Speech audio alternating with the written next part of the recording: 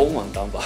这次我好像吃了公碗汤最多。你的汤可以加芹菜吗？或是香菜？哦，香菜可以啊，我喜欢。对，没有香菜就没有 那个对。小花，你真的是假斯勒？是啊，我就是那个当年喜欢你、说要娶你的贾斯勒。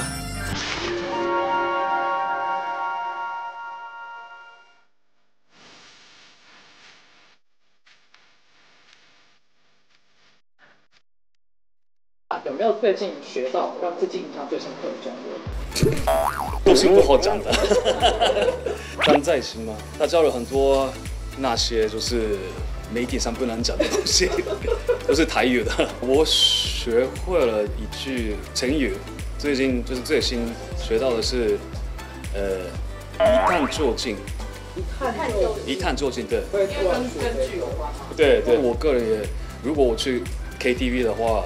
我常唱呃中文歌，最常唱的是王菲的《红豆》，我愿意。然后台湾周杰伦的《菊花台》，还有什么呃呃，蒲公英的秘密，蒲公英的约定。哦，约定对，蒲公英的不能说的秘密，然后蒲公英的约定对。然后还有什么呢？唱五月天的歌吗？因为我现在想起。哦，对对对，五月天，五月天，五月天。会唱五月天的歌吗？那不适合我的声音吧，就是那个风格不一样。我曾经在台湾住过一段时间嘛，那也是来台湾。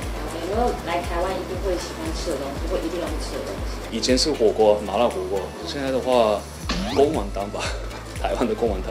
为什么会特别喜欢吃公碗汤？哎，不知道哎，就是这次我好像吃了公碗汤最多。你的汤可以加芹菜吗？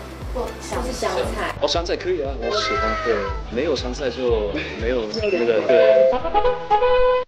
就香港这样出道，然后有在台湾发展过一段时间，又回回日本，自己这样心境对台湾更有感情吗？